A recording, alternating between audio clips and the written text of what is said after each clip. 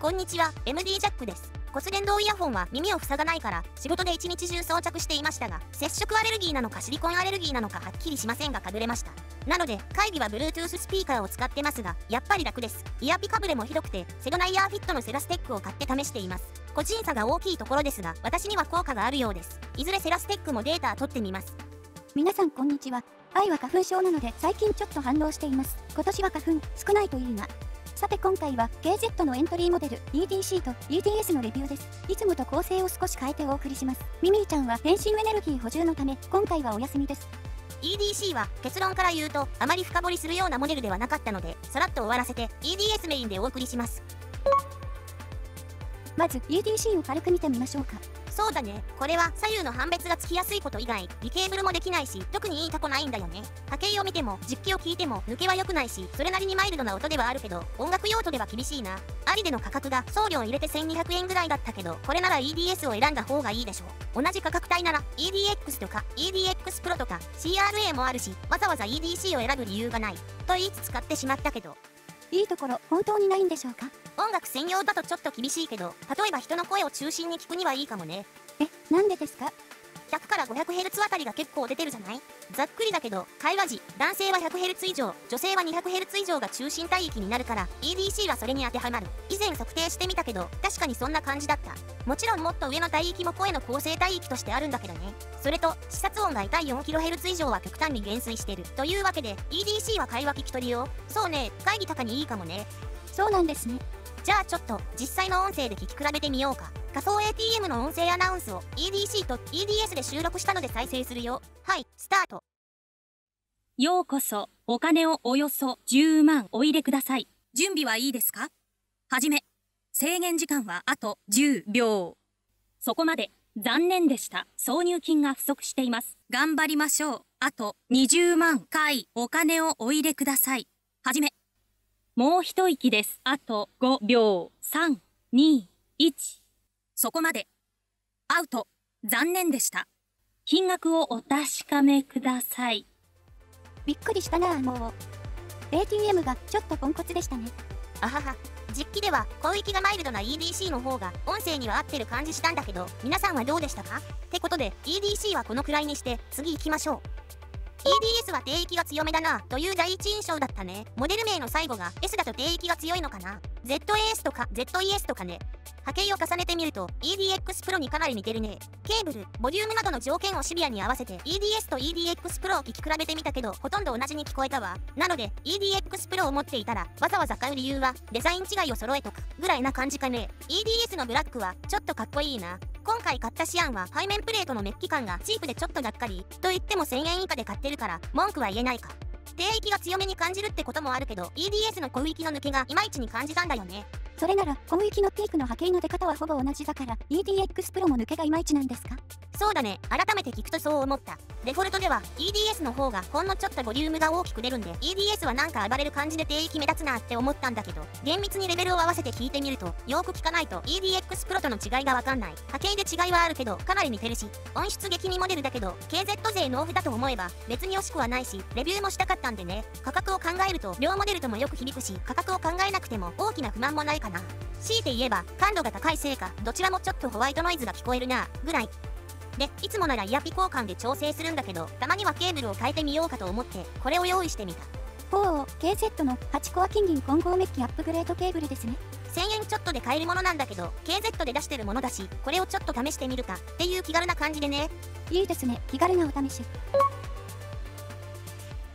まず、付属ケーブルとアップグレードケーブルでピンクノイズを測定してみた。ダウ音管に EDS を挿したままケーブルだけを付け替えて、装着誤差をなくすなどして、できるだけ条件を揃えた。ピンクノイズも周期があるからスタートタイミングを合わせた。波形を拡大してみるとこの時点で少し波形に差があるなと思ったね。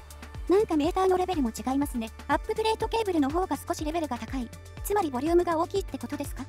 そうだね。何回か測定したけど、0.3から0.5デシベルぐらいの差があって、アップグレードケーブルの方が少しレベルが高かったね。今表示されている波形比較は、レベル差がある状態ね。いつもは見やすくするため、このメーターのスムースネスのところを4%にして、波形を丸めて見えるようにしているんだけど、かなり細かい違いなので、ここを0%にしてみると、こんな感じ。へえ、かなりギザギザしてますね。それともう一つはアベレージングパラメーターを5000ミリセックにしているから波形の振幅も緩く見せてるこれをゼロにするとありゃりゃー。これじゃ、なんだかよくわかりませんね。これはちょっとやりすぎなので1000ミリセックにしてみたああ、これぐらいならいいかも。アップグレードケーブルの少し高くなってるレベルを付属ケーブルのマイナス15.9に合わせてみる解像度も上げてみるちょっと手間取ったから編集してるけどこんな感じブルーとピンクの波形が微妙に重なってないように見える3分の1オクターブ表示に切り替えてみるとこの辺りのピンクがはみ出てるレベルを合わせた後だからこれがケーブルを変えた差という風にも解釈でき交換後の方がグラフ上では広域が少し増したように見えるなるほど。でも、なんか自信なさげですね。まあこのやり方で変化があったからといってこれが正しいかどうかはわからないからね。自分の環境では少しだけど変化がありましたよというレベルのものでしかない。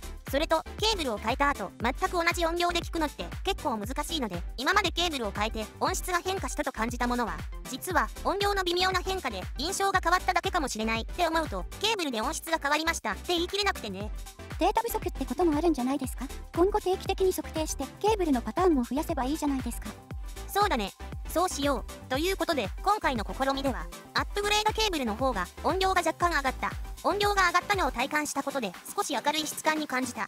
レベルを合わせると違いがほぼわからなかった。メーター上ではアップグレードケーブルの方が広域が少し増したように見えた。とまあこんなとこでしょう。で広域をもう少し出すにはイヤピの変更の方が確実だなってことで今回はセドナイヤーフィットビビッドにしてみた。5から 7kHz あたりはレベル上がりましたけど、10kHz へ向かっての減衰が激しいですね。そうだね。じゃああれを使ってみるかってことで用意したのがこれ。スピンフィット CP145 ね。パープルの波形表示で 7kHz あたりは一番出て 10kHz 以降もビビッドほど減衰しない。音質的にはかなり軽快になったね。ただイヤピの内径が EDS のステムに合わせると緩いのでガンプラ用に買ってあった。曲線にも使えるマスキングテープをステムに巻いて調整しました。伸縮するので引っ張りながら巻いています。調整してもスピンフィットは抜けやすいですが無調整よりは良くなりました。じゃあケーブルとイヤピの組み合わせの違いによる変化を聞き比べてみようかまたポンコツ ATM 聞くんですか？いやいやちゃんと音楽で聴き比べるからああ、よかった。ではどうぞ、1分ぐらいです。